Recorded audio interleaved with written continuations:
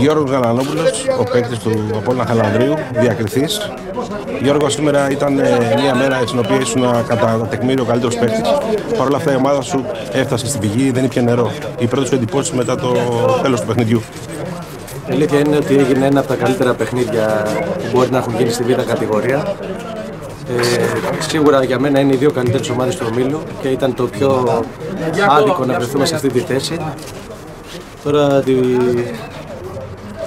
το χάσαμε την άνοδο είναι κάτι το οποίο μας πληρώνει πάρα πολύ αλλά μας γεμίζει πείσμα για την επόμενη μέρα που σίγουρα θα είμαστε πολύ καλύτεροι και να πανηγυρίσουμε το πρωτάθλημα του χρόνου. Εύχομαι στον Ολυμπιακό Λιωσίνο τα καλύτερα. Είναι μια πολύ καλή ομάδα, ιστορική ομάδα. Επιστρέφει στην Α κατηγορία, εκείνη η θέση της. Και συνεχίζουμε. Ευχαριστούμε πολύ να είσαι καλά, καλή συνέχεια, να είσαι πάντα